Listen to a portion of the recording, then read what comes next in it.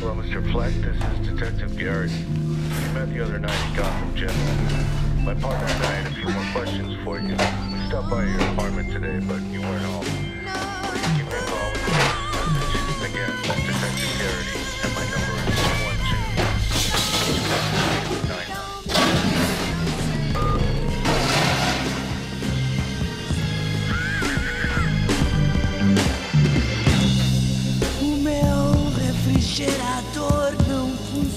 O